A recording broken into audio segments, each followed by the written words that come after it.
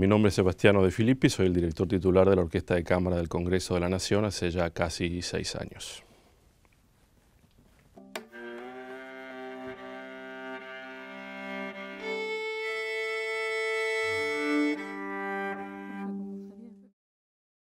Llegar a la orquesta del Congreso fue una historia un tanto particular. Eh, como decíamos, fue hace casi seis años, por ende yo tenía unos 36, 35. Em, ya había participado en varios concursos de titularidad en la Argentina.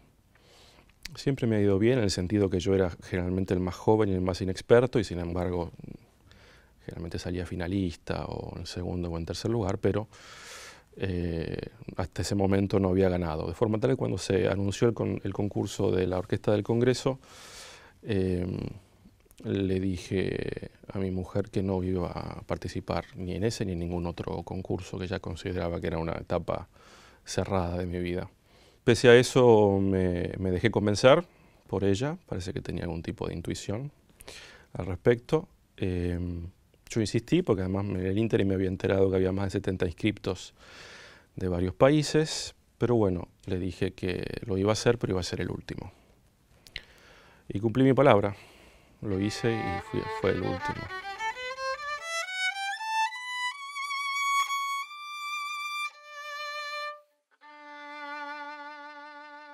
Soy una persona muy curiosa, así que hay, por supuesto me siento más cómodo o más siento que algunos repertorios me pueden resultar más orgánicos, pero nunca me topé con una música que o no me gustara o no me interesara o no me resultara un desafío agradable.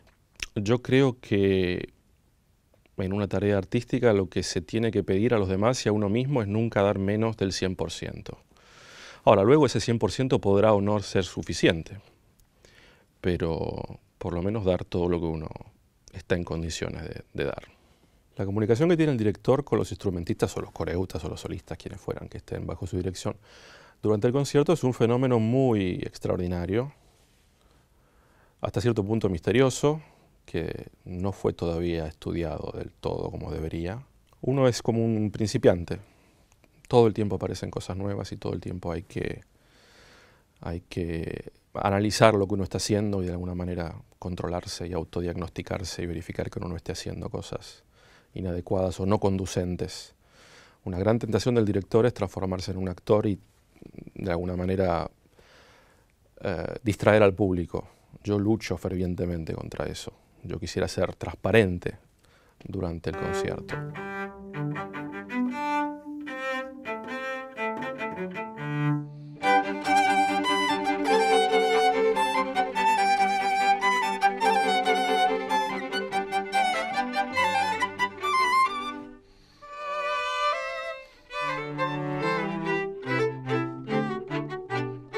uno tiene que hacer las paces con, su TOC y en todo caso tratar de utilizarlo para el bien, por así decirlo, y no para el lado oscuro de la fuerza. Para mi trabajo como director, ser obsesivo compulsivo es bueno, es importante. Caso contrario, eh, la mediocridad está a la vuelta de la esquina. Sí tengo una pesadilla recurrente bastante típica del artista o del músico, que es encontrarse en un escenario teniendo que hacer algo que uno ni estudió, ni ensayó, ni, tiene la menor idea de qué se trata. Eh, esa pesadilla recurrente sí la tengo.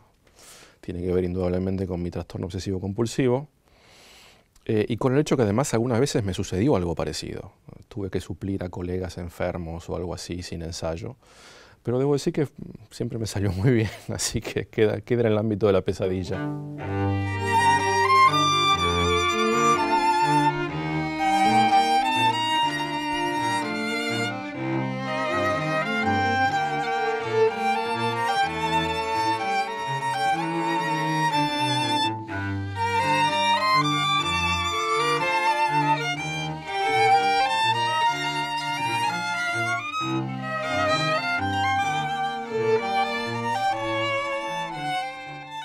Que esta es una pequeña sociedad, es una pequeña sociedad utópica, donde hay al mismo tiempo libertad, eh, expresión individual y al mismo tiempo un respeto por la jerarquía y por el orden. Una orquesta es mucho más que la suma de sus partes. Una orquesta no es un conjunto X de músicos.